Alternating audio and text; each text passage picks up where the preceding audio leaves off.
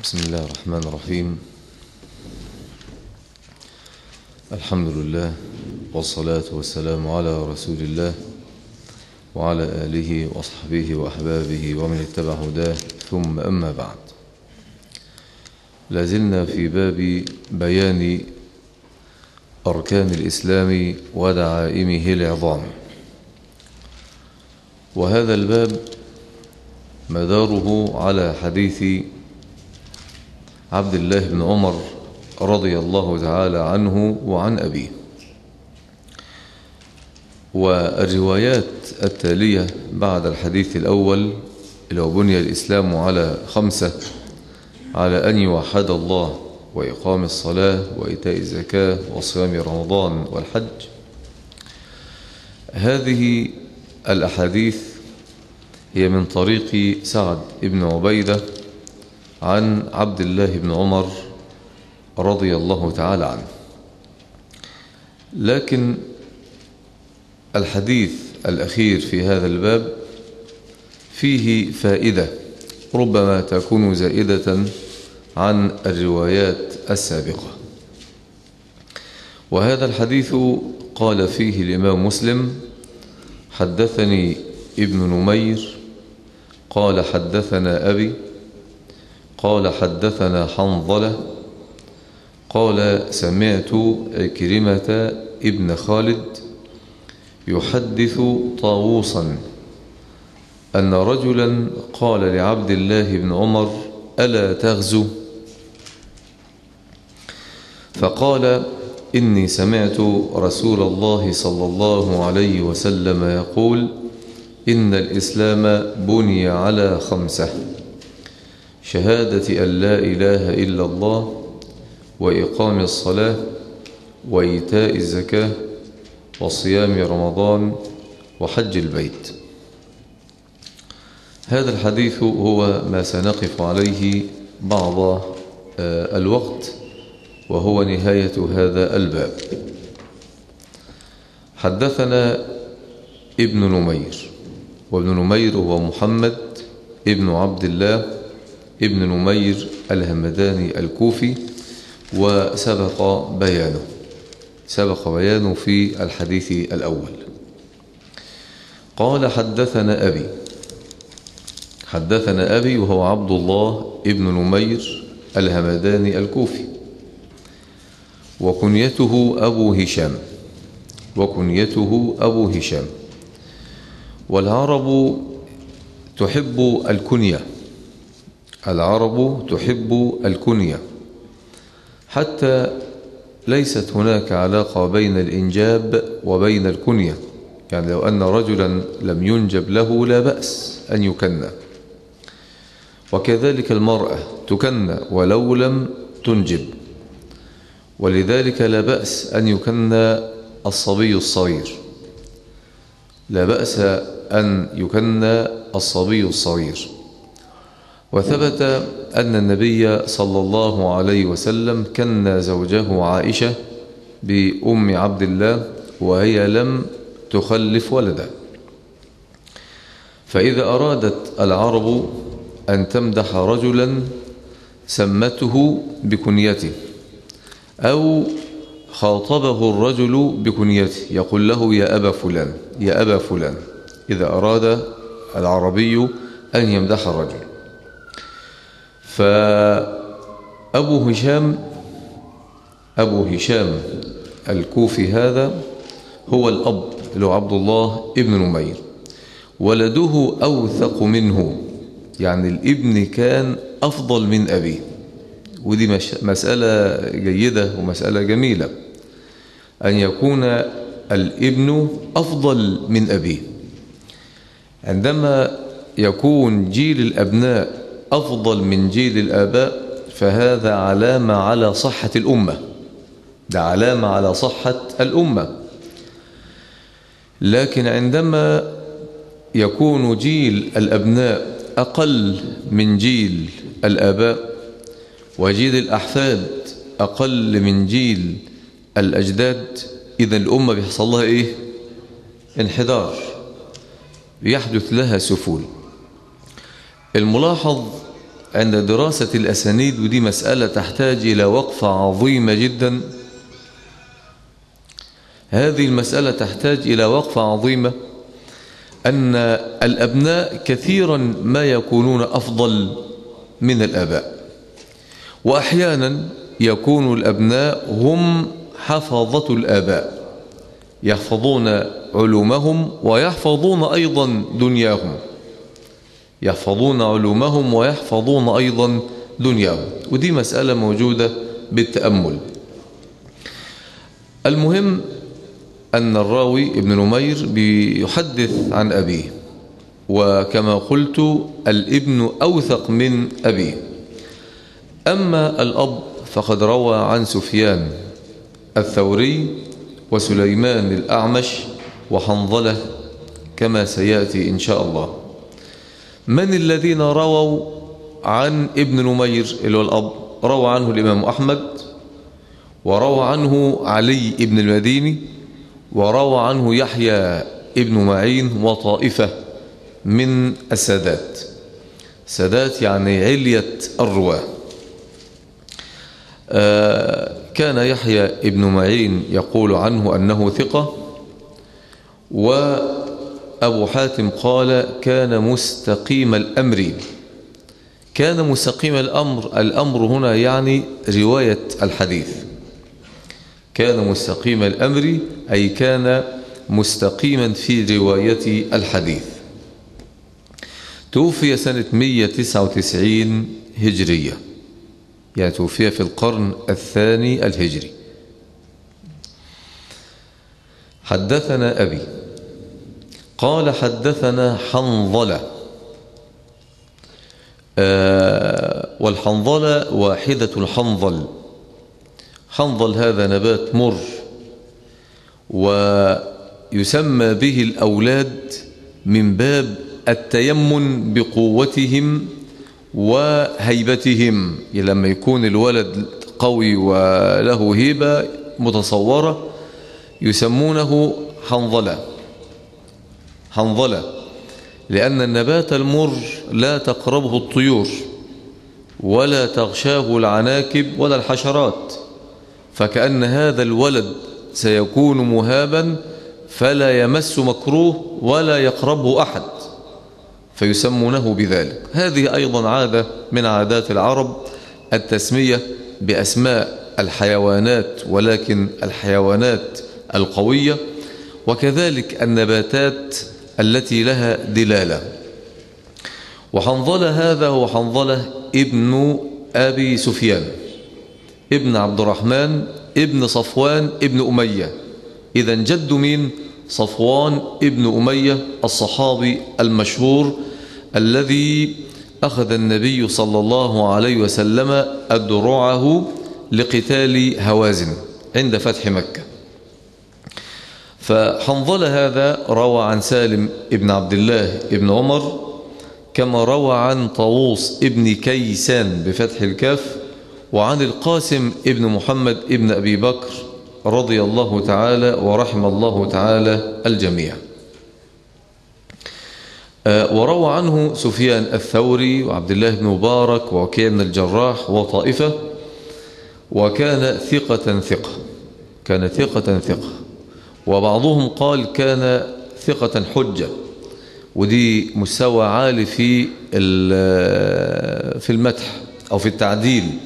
عندما تكرر الصفة أو تؤتى بالصفة وما يشابهها أو يكون أعلاه. ثقة ثقة أو ثقة حافظ أو إمام حجة أو ثقة حجة إلى غير ذلك.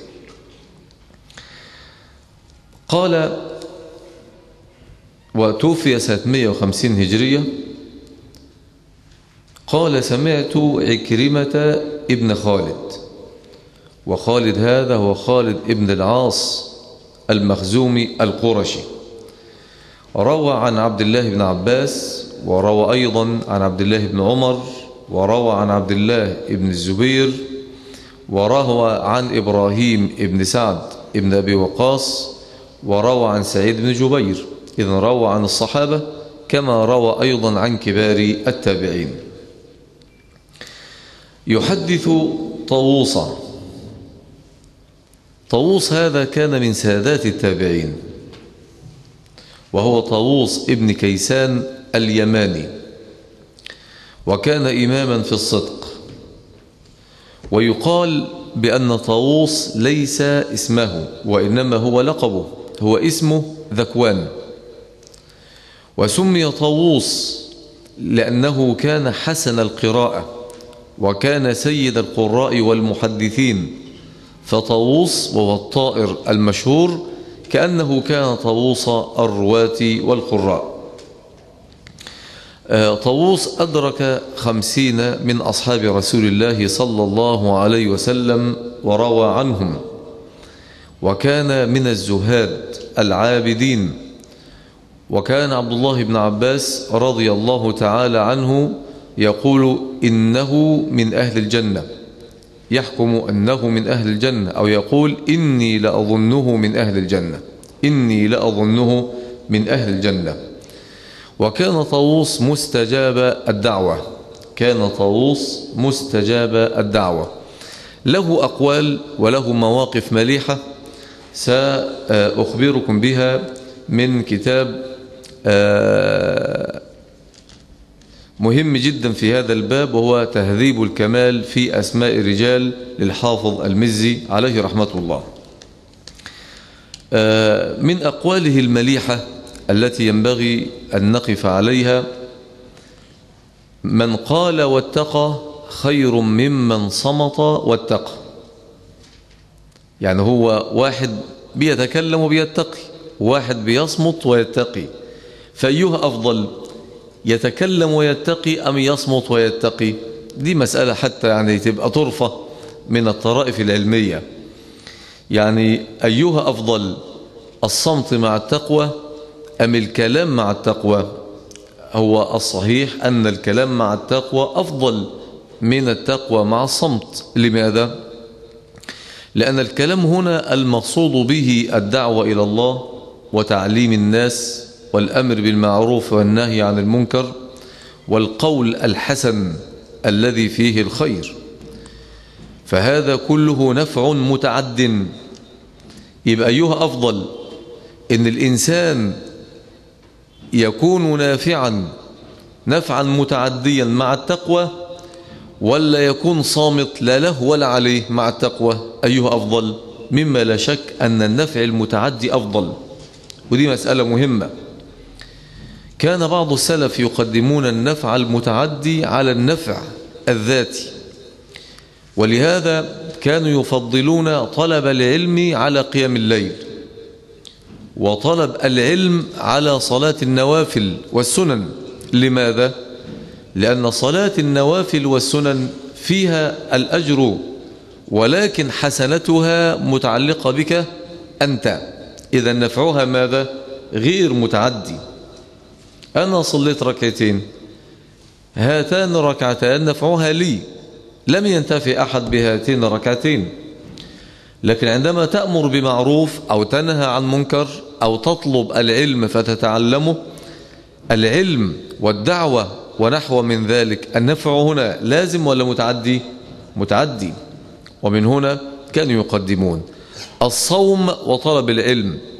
لو أن إنسان غلب على ظنه أن الصوم سيجهده أو يرهقه في طلب العلم طلب العلم يحتاج إلى تحصيل وحفظ وفهم وملكات فيا ترى أيها أفضل, أيها أفضل أن يطلب العلم وهذا نافع متعدي ولا أن يصوم سنة؟ لأن بعض الناس بيوسعوا مسألة الصيام ويدخلوا صيام رمضان. فيقول لك أيها أفضل بقى؟ المذاكرة ولا صيام رمضان؟ فيقول لك لا المذاكرة أولى من صيام رمضان. لا كم؟ ده غير صحيح. لماذا؟ لأن طلب العلم حتى ولو كان واجبا فوجوب طلب العلم وجوب على السعة. أما الصلاة أو الصوم فوجوبها على ماذا؟ على العين. وجوبها على العين. فلو تزاحم فرض على السعة فرض كفائي على السعة وفرض عيني يقدم الفرض العيني على الفرض الكفائي وسيأتي. يبقى طلب العلم فرض كفائي. لو أن هناك طائفة قامت بطلب العلم سقط الإثم عن الأمة كلها. فطلب العلم فرض كفائي زي صلاة الجنازة. فرض كفائي. لكن الصيام مش فرض كفائي. ولا الصلاة فرض كفائي هذه كلها فروض على العين. إما مخصصة بالأوقات وإما مخصصة بالأماكن أو نحو من ذلك. فكان طاووس يقول من قال واتقى أي واتقى الله خير ممن اتقى الله وصمت. يبقى تقوى مع الكلام خير من التقوى مع ماذا؟ مع الصمت.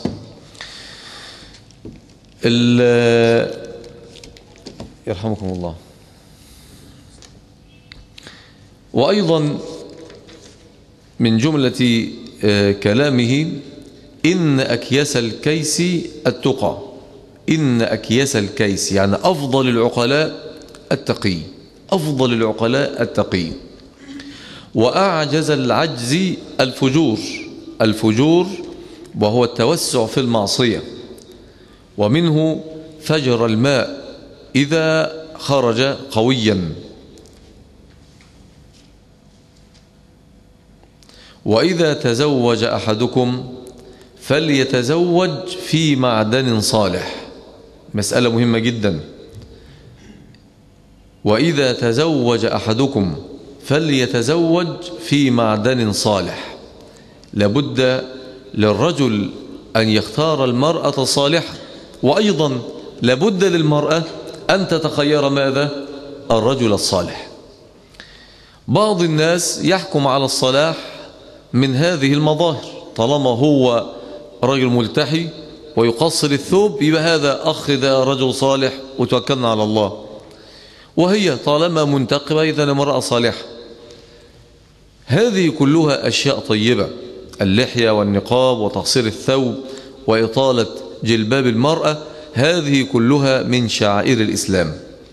ولكن الصلاح أمور أكثر من هذه الأشياء.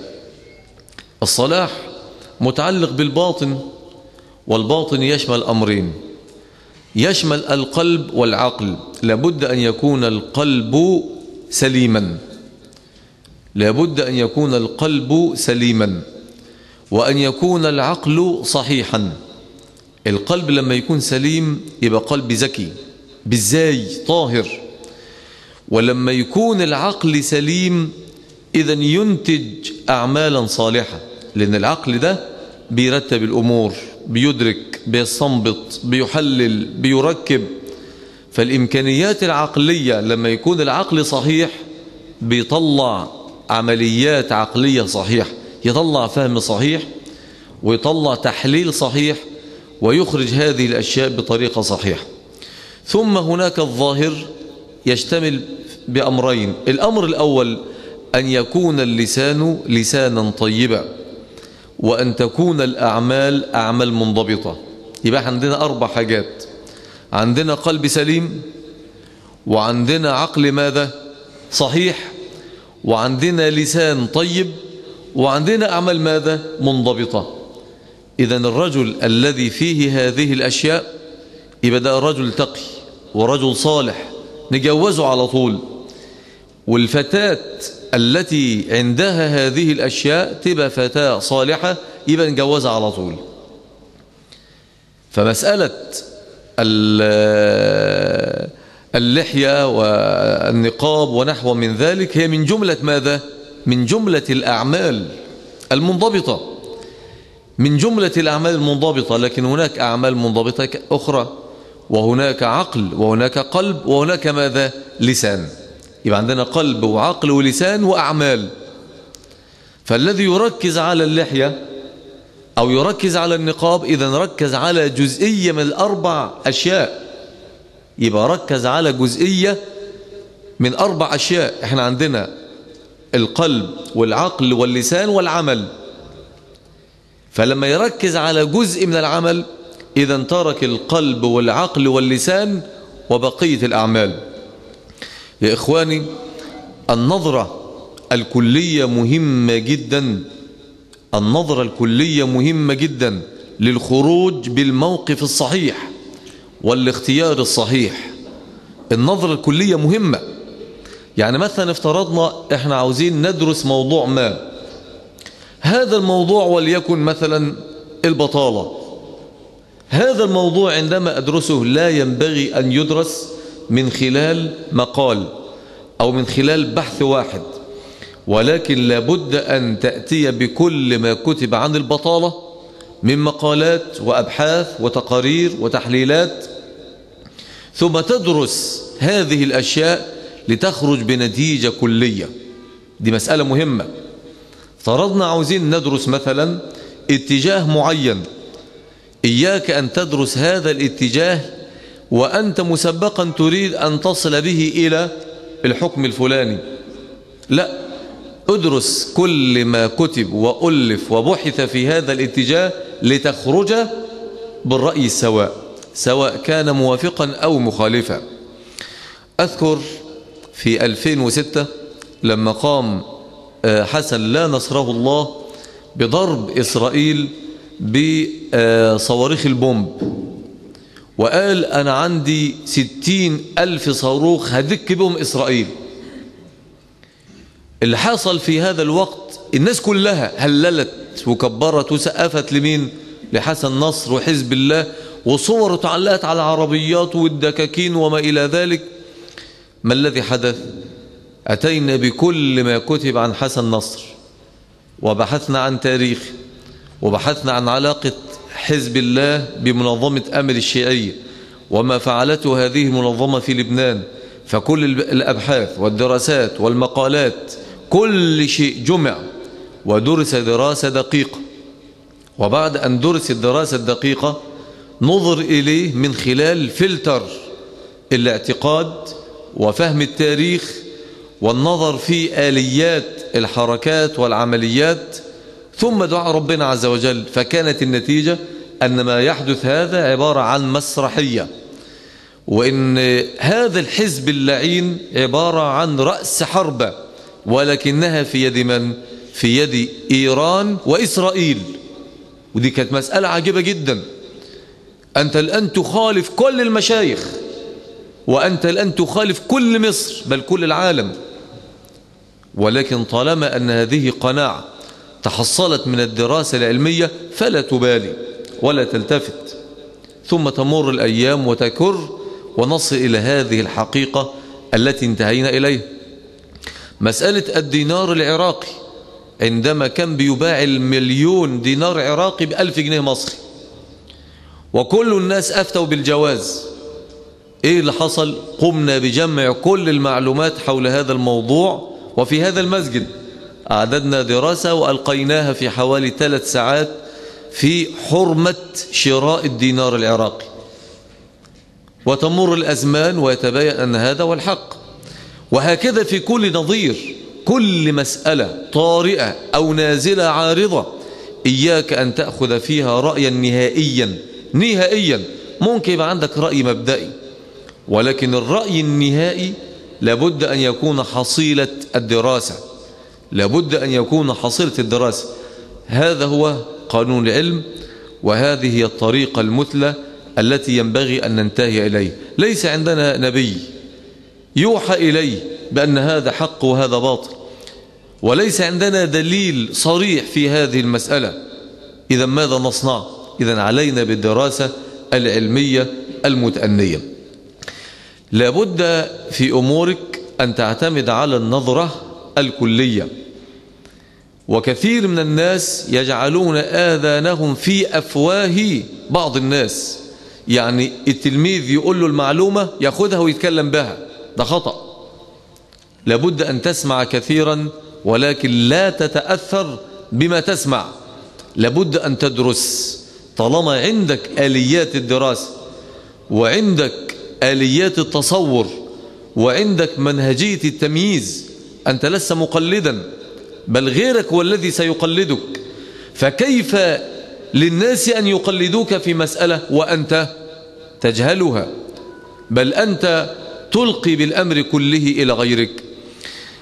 بعض إخواننا الطيبين الذي كان يجري في مصر ويلقي المحاضرات في محافظاتها وله تصانيف ومجلدات وشرايط وإلى غير ذلك. وكان يدعو الناس إلى قول نعم للدستور. فلما قيل له يا مولانا هل قرأت الدستور؟ قال قد قرأه من أثق فيه. قد قرأه من أثق فيه. كيف؟ كيف يجيز لنفسه أن يتكلم في مسألة لم يدرسها؟ طب ما تدرس المسألة. ادرسها دراسة علمية صحيحة. وحيث انتهى بك العلم خلاص. ولذلك قال السلف قد أحسن من انتهى إلى ما سمع. إذا قد أحسن من انتهى إلى علمه. إحنا عاوزين النظرة الكلية دي. النظرة الكلية. الراجل الصيدلي لما يجي عاوز يعمل صيدلية بيعمل إيه؟ معايا فلوس وممكن أشتري صيدلية هنا؟ لا. طب يدرس الأول الكتلة السكنية وبعدين يشوف الدكاترة اللي في المنطقة دي وبعدين يشوف نوعية الدكاترة اللي في المنطقة دي. لو مثلا بتوع جراحين وولادة وما إلى ذلك يساعدوا لأن بتاع الولادة بيرص لستة من الأدوية بيدرس دراسة كلية. ولما يطمئن إلى جدوى وصلاحية هذا المكان لإنشاء صيدلية ينشئ صيدلية على طول. لكن افترضنا واحد زي الدكتور الطرشوبي هيعمل صيدلية في الصحراء لا يمكن. لا يمكن لابد من تخير المكان. وتخير المكان يكون بعد دراسة كلية. إحنا نحتاج أن نتعلم كيفية إعداد الدراسة الكلية للخروج بنتيجة تطمئن إليها النفوس في حاجة إلى ذلك الأمر. آه هذه المعاني كلها في جملة وإذا تزوج أحدكم فليتزوج في معدن صالح. في معدن صالح. مسألة مهمة جدا. المعدن بيشمل الرجل والمرأة وإن كان الأكثر من المرأة. لكن لابد أن يكون الفهم متوجها إلى الاثنين. المعدن الرجل يكون صالحا والمرأة صالحة. طب الرجل صالح والمرأة غير ذلك. هنا تكون الجناية مرة أو العكس تكون الجناية مرة. نسأل الله تعالى العافية. ويقول طاووس ابن كيسان وإذا اطلعتم من رجل على فجرة ما قالش فجور ولكن على إيه؟ فجرة. وعلى فكرة يعني اسم المرة بيبقى أحيانا له دلالاته. يعني لم يقل وإذا اطلعتم على أو اطلعتم من رجل على فجور ولكن على إيه؟ فجرة. يعني واحد عمل مصيبة في مرة واحدة بس مصيبة كبيرة قوي يعني. فاحذروه خلي بالكم منه. خلي بالكم منه. ما نقولش مثلا دي زلة. وهناك حسنات تمحوها. أيوة دي بينه وبين الله؟ وده برضك إحنا هنعمله على حسن الظن. بس نعمل إيه؟ نخلي بالنا. نخلي بالنا. كل من فجر فجرة وهذه الفجر كلمة فجرة يعني معصية كبيرة لابد أن نحذر. لابد أن نحذر حتى يتوب إلى الله تعالى. ليه؟ فإن لها أخوات. من سنة الله تبارك وتعالى أنه لا يفتش عيوب الناس إلا بعد تماديهم في المعصية. يعني دي سنة قائمة. لا يفتش الله تعالى لك المعصية إلا إذا تماديت فيها. إلا لو أراد الله تعالى بك بلاء لكي تكون تائبا. يعني ما خلاكش تعمل معصية كتير. تعمل معصية يفضحك فيها. ترجع على طول إلى الله عز وجل. لكن أنا بتكلم على الغالب. أن الفجر تدل على أن لها أخوات. هذا في الغالب. هذا في الغالب. أيضا من جملة كلام هذا رجل وهذه النصيحة رواها عبد الله بن طاووس عن أبيه. قال قال أبي يا بني صاحب العقلاء. ودي مسألة مهمة جدا. أيها أفضل عدو عاقل أم صديق أحمق؟ أيها أفضل عدو بس عاقل أفضل ولا صديق بس أحمق؟ أيه أفضل من يجيب؟ إيه؟ عدو عاقل أفضل من صديق أحمق؟ إيه؟ لا إحنا دلوقتي بنخير. نعم. لا ثم خلاص يعني خلصنا. لو في هناك اختيار نختار مين؟ الأحمق تختاره؟ مين قال الأحمق؟ عشان بس انت دفعوا 10 جنيه. دكتور إسلام لا يبقى 20 جنيه. طيب ماشي. نسمع الأذان ونكمل إن شاء الله. مما لا شك أن الأفضل هو العدو العاقل. لماذا؟ لأنك تعرفه وتعرف ما يصنع. تعرفه وتعرف ما يصنع. وتعرف خلاله وتعرف نظامه.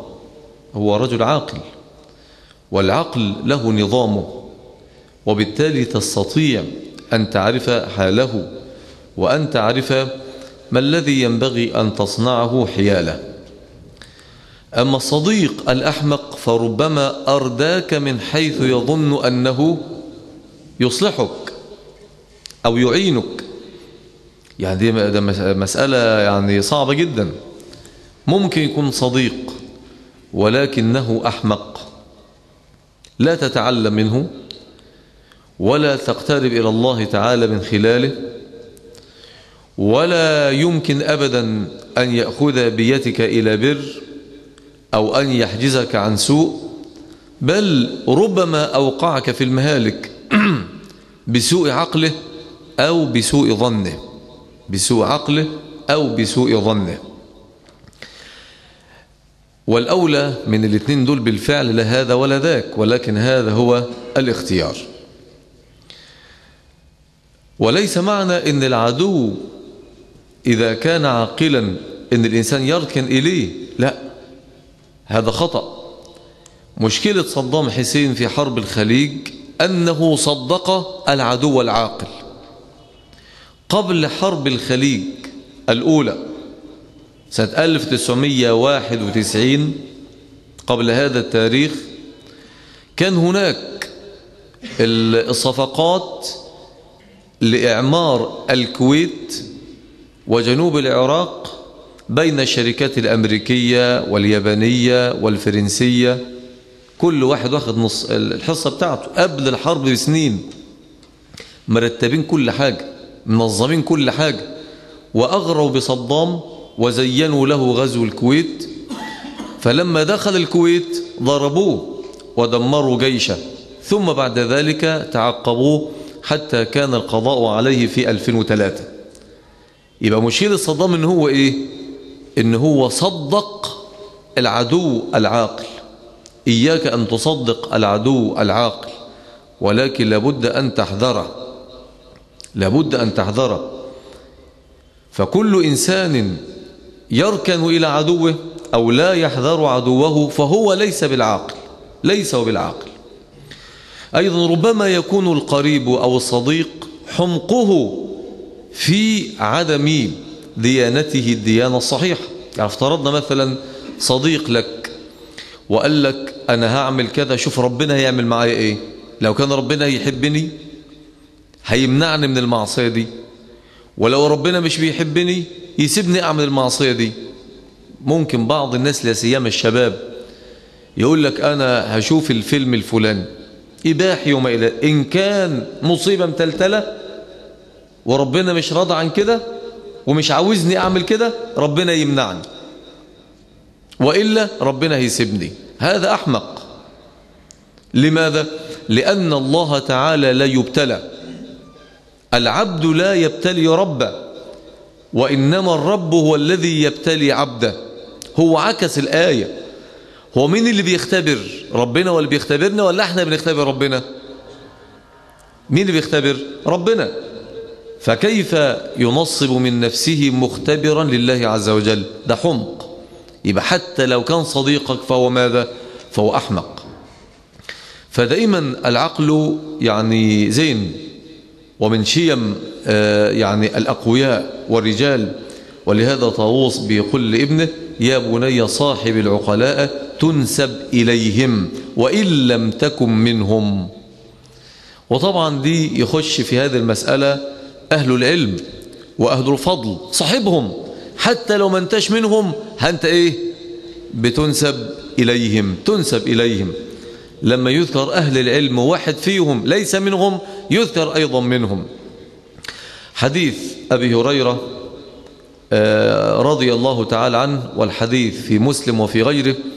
إن الله تعالى ملائكة يطوفون فإذا وجدوا قوما يذكرون الله عز وجل جلسوا فحفوهم.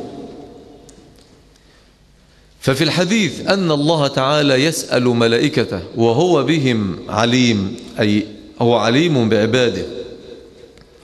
ماذا يطلبون؟ قالوا يسألون الجنة ويستعيذون بالله من النار. قال أشهدكم يا ملائكتي أني قد غفرت له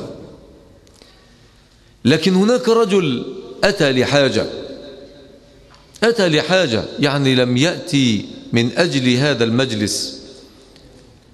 مثلا هو رجل صيدلي ولا طبيب عيون مثلا وبعدين واحد عينه آه، حصل فيها آه، يعني تعب فراح فقالوا لا هو في مسجد عباد الرحمن. إذا أتى للمسجد ليس من أجل المجلس وإنما من أجل الحاجة. بس هو من حيث الجملة هو فين؟ مع هؤلاء القوم. فقالت الملكة يا رب إن فيهم فلانا ليس منهم إنما أتى لحاجة. قال وله غفرت هم القوم لا يشقى بهم جليسهم. يبقى الإنسان بيبقى مع الجلساء مع الرفقاء.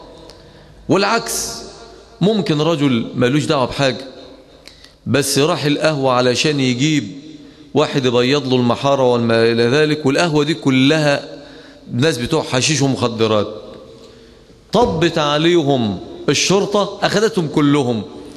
يقول لهم أنا ماليش دعوة فأنا جاي علشان أخذ الراجل يعمل لي المحار. يقول برضك تعالى معانا. ويقعد له شهرين ثلاثة لغاية بقى الفيش والبتاع والعرض والكلام ده كله. سبحان الله. انظر إلى هؤلاء. وانظر إلى هؤلاء. فالعقل أن تزاحم أهل الخير. وأن تنتسب إلى أهل الخير حتى ولو لم تكن منهم. حتى ولو لم تكن منهم. ما يجيش واحد يقول يا عم أنا ما بعرفش أحفظ آه، أحاديث آه، النبي صلى الله عليه وسلم. في المسجد الدروس تقيلة. حتى لو مش هتفهم حاجة ستفهم. تعال يكفيك أنك في بيت الله عز وجل. فإذا نزلت رحمة الله عز وجل أصابتك منها. أصابتك منها. فانظر إلى هذه النصيحة الغالية. إن الأب بيقول لابنه يا بني صاحب العقلاء تنسب إليهم وإن لم تكن منهم وإن لم تكن منهم. ولا تصاحب الجهال. الجهال قد يعنى بهم ضد العلم الجهل وقد يعنى بالجهل السفة. يعنى بالجهل السفة. ألا لا يجهلا أحد علينا؟ فنجهل فوق جهل الجاهلين. زي ما نقول البلد اللي اللي يحدفني بالمية أحدفه بالنار. ده سفه. هذا جهل. هذا جهل أي سفه وحمق. فلا تصاحب الجهال السفهاء. فتنسب إليهم وإن لم تكن منهم. سبحان الله. لو مشيت مع الناس الوحشة. الناس اللي مش الذين لا يعرفون التزاما ولا ديانة الذين يضيعون أعمارهم فيما لا يفيد لو مشيت معهم تنسب أيضا إليهم. واعلم أن لكل شيء غاية. غاية يعني إيه؟ يعني نهاية. غاية أي نهاية؟ وغاية المرء حسن عقله. نهاية أي إنسان هو ما انتهى إليه حسن عقله. طبعا نصيحة جميلة. من جملة نصائح طاووس أيضا إن الابن بيروي عن أبيه عن ابن طاووس عن أبيه قال إقرار ببعض الظلم خير من القيام فيه. ممكن يبقى فيه ظلم بس الظلم ده يعني أنت لم تشارك فيه. فلو أنك لم تدفع هذا الظلم خير من أن تكون جزءا من هذا الظلم وأن تشارك في هذا الظلم.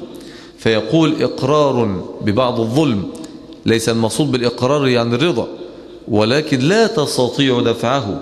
فيكون حالك كحال من أقر وأنت لم تقر.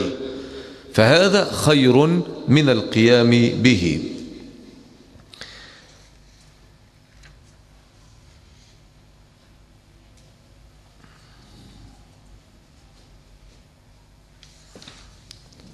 طبعا كلام كثير جدا ولكن لا أريد أن أطيل. هناك قصة طيبة أن بعض الناس يقولون بأن القصص عبارة عن كذب لأن هذا الكلام لم يحدث. فطالما لم يحدث إذا الذي يكتب قصة أو يقول قصة إذا هذا كاذب. يعني الجواب حنانيك حنانيك لا تتسرع. فربما تكون هناك عبرة من وراء هذه القصة. وهذه المسألة جمعت لها أطرافا عن بعض السلف وهي موجودة من خلال قراءاتي في كتاب تذكرة الحفاظ للإمام الجليل الذهبي عليه رحمة الله. ولكن من هذا الباب هذه القصة التي ذكرها طاووس وهي مروية من طريق عبد الرزاق طبعا معروف حدثنا معمر عن ابن طاووس عن أبيه. قال يا أخوانا قصة. لا نص حديث ولا خلافه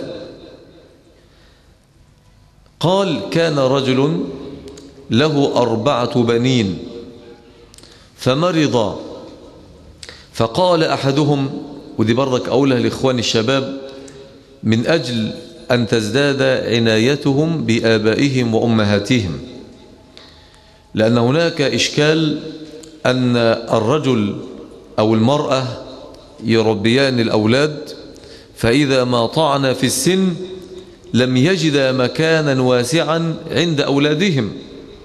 مسألة صعبة مسألة صعبة يبقى الراجل يخلف ويتعب ويربي والأم تحمل وتربي ولما يكبروا في السن ويعجزهم يروحوا فين؟ يروحوا فين؟ يروحوا في بيت العجزة ولا دور المسنين ولا يقعدوا عند عيالهم. قال الله عز وجل إما يبلغن عندك عندك. هذا ظرف مكان للدلالة على أن الوالدين إذا سن إذا كبر فلا مكان لهما إلا عند من؟ عند الأولاد. الكبر أحدهما أو كلاهما فلا تقل لهما أف ولا تنهرهما. يبقى أمك أو أبوك لما يكبرهم يعيشوا عندك في البيت. لا تتأفف منهما ولا تستثقل مقامهما بل لابد أن تقول لهما الكلام المليح الحسن وأن تفعل معهما الفعل اللائق.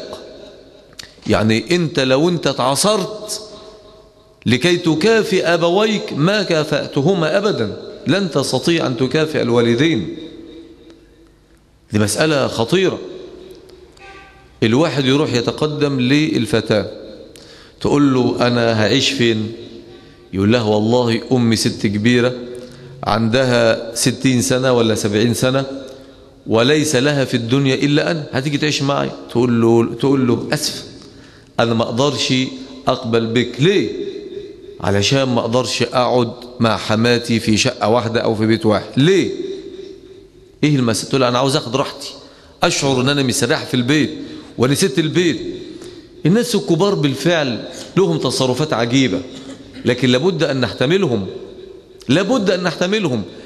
عنده سبعين سنة هيعيش كم سنة؟ ما يعيش عشر سنين خمس سنين عشرين سنة؟ بس يكون عندك. الست الكبير أو الراجل الكبير كثيرا من الأحيان ما يتدخلون. وهم عاوزين يطبخوا النهاردة مثلا عدس مثلا. تقول له لا اعملوا لوبيا عاوزين يعملوا النهاردة مثلا بطاطس؟ لا اعملوا سمك. ويحكموا رأيهم. إيه المشكلة؟ نسمع كلامهم حاجات بسيطة ونمشي الأحوال. كثير من البيوتات بتهد بسبب أن الأزواج لا يعتنون بآبائهم وأمهاتهم. أهدي هذه القصة التي ذكرها الإمام طاووس إلى إخوان الشباب سواء الذين تزوجوا أو الذين يفكرون في الزواج أو الذين إن شاء الله متصور أن يتزوجوا بإن شاء الله. آه بيقول طاووس كان رجل اقعدوا بقى تربعوا كده بقى إحنا هذه قصة بقى حلو. كان رجل له أربعة بنين أربع أولاد صبيان فمرضا فقال أحدهم إما أن تمرضوه وليس لكم من ميراثه شيء وإما أن أمرضه وليس لي من ميراثه شيء. يا سلام! أنت فاهمين يا اخوانا إيه المسألة دي؟ يعني واحد منهم قال لهم يا إخواني اللي هيشتلى أبويا ويمرضه ويبقى تحت رجليه يغسل رجليه ويبوس رجليه ويأكله ويشربه وكل حاجة ما فيش له ميراث. حسبه الحسنات بس. الراجل عنده برجين في المنصورة وعنده برجين في القاهرة وعنده رصيد في البنك وما شاء الله راجل غني جدا. بقول لك هذا بدل التهويل يعني. فقال لهم اللي هيقعد بابوه ما ياخدش أي حاجة من الميراث وحسبه الحسنات. طبعا إخواته ظنوه راجل أهبل. مين يقول الكلام ده؟ اسمعوا بقية القصة حتى تروا العجب العجاب. إخواته قالوا له إيه؟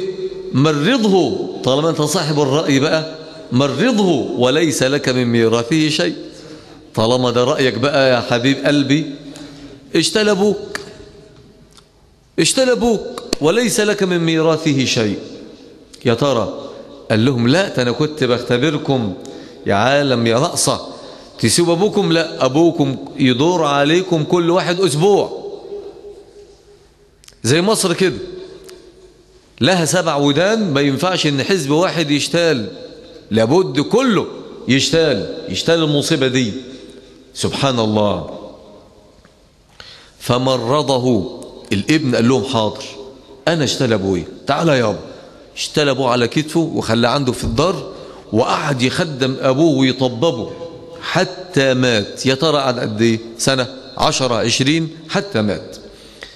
ترتب على ذلك أنه لم يأخذ من ميراثه شيئا.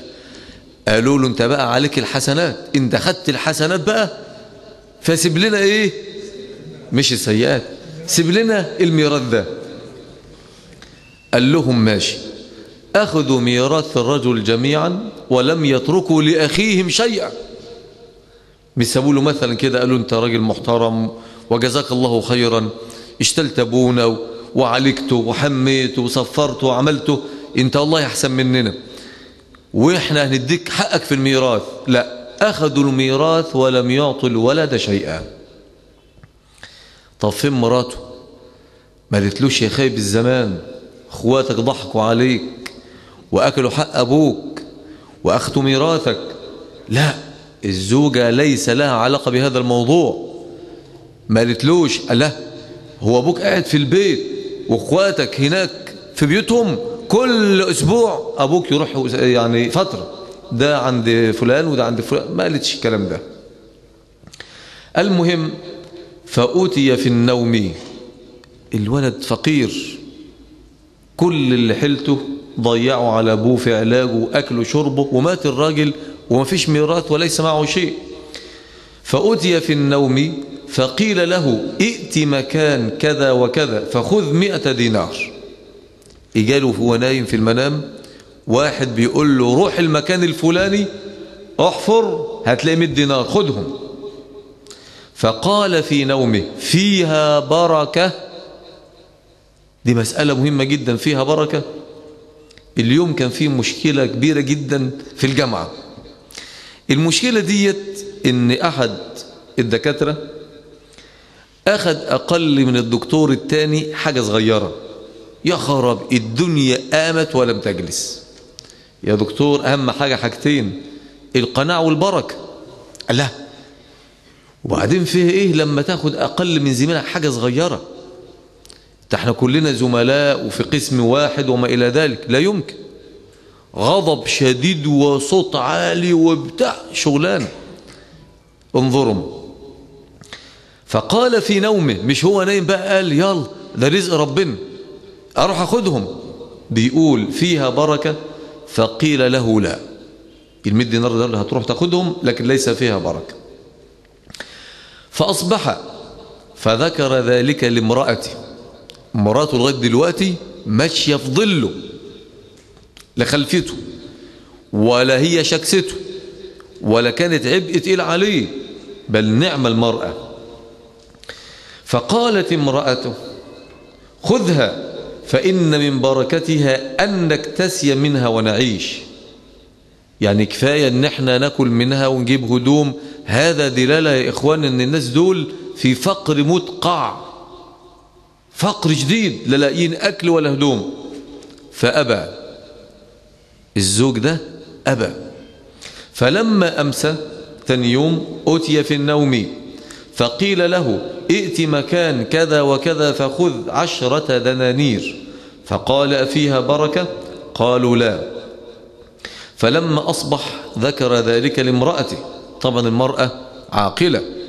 ما رجيش بقى يابا بقى لغاية كده بقى أنا صراحة أنا قضيت منك وزهقتني في حياتي وقرفت عليا دنياتي أنا هروح ضربوي ولما تفوق وتعقل تعال خدني من ضربوي ما قالتش كام ده أبدا. أبدا. هي المشكلة أن المرأة إذا كانت صالحة عاقلة فيها أربع حاجات كانت كفءا لزوجها. هنقوله من تاني القلب والعقل واللسان والعمل. فقالت له مثل مقالتها الأولى فأبى أن يأخذها. فأتي في الليلة الثالثة فقيل له ائت مكان كذا وكذا فخذ منه دينارا دينار واحد. يبقى كانوا الأول مية. نزلوا كام بقوا دينار. قال أفيه بركة؟ دي مسألة مهمة جدا يا إخوان. فيه بركة؟ يبقى البركة بالكثرة ولا بالقلة؟ أرجو تنتبهوا لهذه القصة. القصة مش أنا اللي مألفها الذي ذكرها الذي ذكرها هو الإمام طاووس. فقال أفيه بركة؟ قيل له نعم. أيوة. فذهب راح المكان ده حفر فتلقى الدينار فأخذ الدينار. ثم خرج به إلى السوق. فإذا هو برجل يحمل زي صرتين في كل صرة سمكة. فقال بكم هما؟ دول بكام؟ قال بدينار. الاتنين دول السمكتين دول بدينار. فأخذهما منه بدينار ثم انطلق بهما. فلما دخل بيته شق بطونهما فوجد في بطن كل واحدة منهما درة. في بطن كل سمكة إيه؟ درة. لم يرى الناس مثلها. حاجة بقى يعني سبحان الملك. قال فبعث الملك طبعا لما اتلقى المسألة دي زوجته قالت لأختها وأختها قالت لجوزها وجوزها قال لأخوه وأخوه قال لمراته ومراته قالت لأختها وأختها قالت لجارتها وجارتها قالت لجوزها. الناس كلها عرفت وصل خبر لمين؟ للملك. فبعث الملك يطلب الدرة ليشتريها. فلم توجد إلا عنده. الملك لم توجد إلا عنده. فباعها بوقر ثلاثين بعيرا من الذهب. فلما رآها الملك ده درة واحدة قال ما تصلح هذه إلا بأخت أكيد لها لها قرين اطلبوها أو اطلبوا أختها وإن أضعفتموه يعني حتى لو عاوز أضعاف أضعاف ما أخذ فجاءوا فقالوا عندك أختها ونحن نعطيك ضعف ما أعطيناك؟ قال وتفعلون؟ قالوا نعم. قال فأعطاهم إياها بضعف ما أخذ الأولى. يبقى أخواته عندهم إيه؟ وهو عنده إيه؟ فاهمين يا إخواننا الحكمة من هذه القصة؟ طيب نعود إلى الحديث بتاعنا.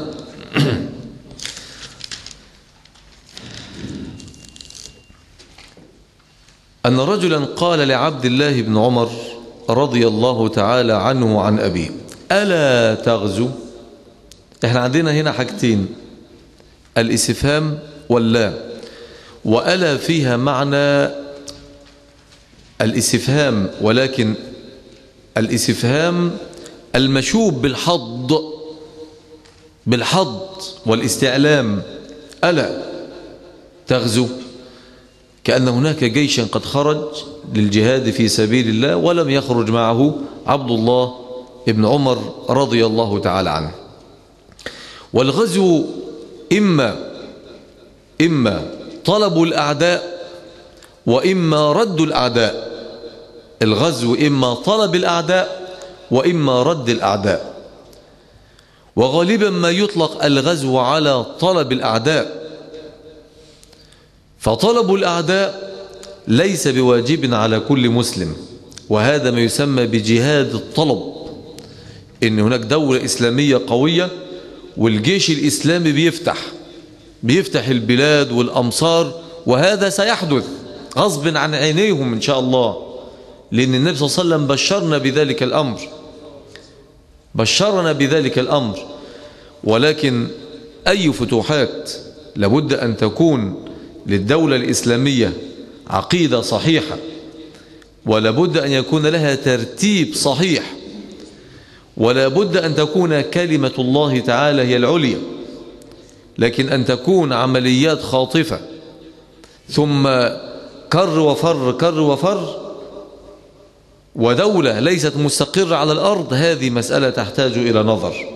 المهم فعندما نطلب الأعداء هذا يسمى بجهاد ماذا؟ جهاد الطلب. فلو هناك دولة إسلامية مستقرة ودي مسألة يرد بها على بعض الناس دولة إسلامية مستقرة وهنروح نطلب الأعداء ونقاتل الأعداء ليس في أرضنا؟ يسمى هذا بجهاد الطلب. هذا فرض على الكفاية. أما إذا أتى الأعداء ودهموا أرض المسلمين ووطأوا حدود الدولة الإسلامية فلنا أن نجاهدهم وأن نقاتلهم. وهذا يسمى بماذا؟ بجهاد الدفع. جهاد الدفع هذا واجب على كل قادر. كل قادر سواء قادر بالنفس يبقى يطلع بنفسه أو قادر بالمال يطلع بماله. أو ليس عنده لا قدرة جسدية ولا مالية يبقى عنده قدرة على ماذا؟ على الحث والدعاء. فعبد الله بن عمر رضي الله تعالى عنه دولة موجودة صحيحة. دولة إسلامية ثابتة المعالم واضحة الأركان والحدود. وبالتالي وبالتالي هم تجاوزوا حدود الدولة لطلب الأعداء. إذا هذا يسمى ماذا؟ يسمى غزو يسمى جهاد الطلب. ليس هذا فرضا على العين فرض على الكفاية. فما طلعش في هذا الجيش. فقيل له ألا تغزو؟ فقال إني سمعت رسول الله صلى الله عليه وسلم. يا ودي أنس إني سمعت رسول الله صلى الله عليه وسلم يقول إن الإسلام بني على خمسة بني على خمسة شهادة أن لا إله إلا الله وهو توحيد الله عز وجل وعبادته. ويلزم من ذلك الشهادة الثانية وهي أن محمدا عبده ورسوله. شهادة أن لا إله إلا الله وإقام الصلاة وإيتاء الزكاة وصيام رمضان وحج البيت. فسدل بذلك على أن أركان الإسلام ودعائم الإسلام العظام التي هي الفروض العينية ليس فيها ماذا؟ ليس فيها جهاد الطلب فليس هذا من هذا الباب. نكتفي بهذا القدر ونسأل الله تعالى أن يوفقنا وإياكم وأن يجعلنا وإياكم من الذين يستمعون القول فيتبعون أحسنه.